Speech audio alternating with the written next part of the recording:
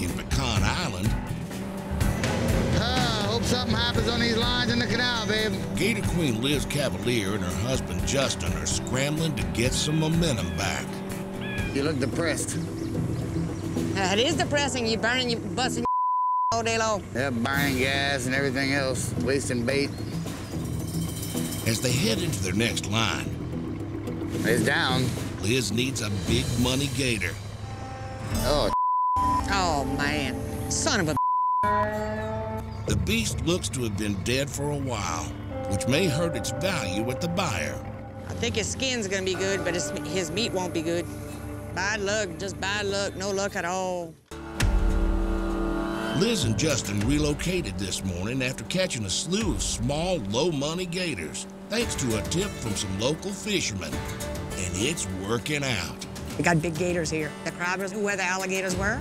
We took their, their word on it, you know, hoping that it continues. Now they've got four good sized gators on board.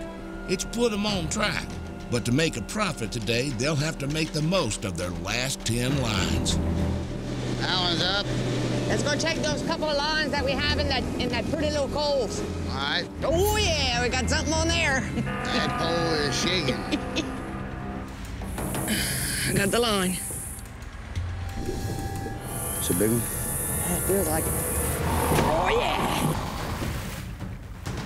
Yeah. Oh, watch him. Oh! Should have shot him. God dog it. Come here, boy.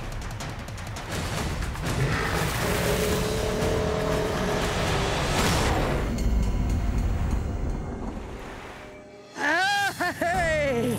Hey, baby. That's what it's all about, baby. Good eight and a half footer. Liz and Justin are happy to have a $400 prize. And as they move through the rest of the area, Holy sh! the gods are smiling on them.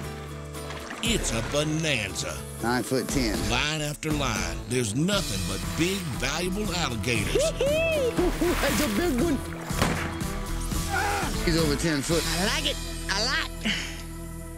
Liz and Justin have pulled off a risky gamble and are now back on pace to tag out this season. Hang on. Jackpot today.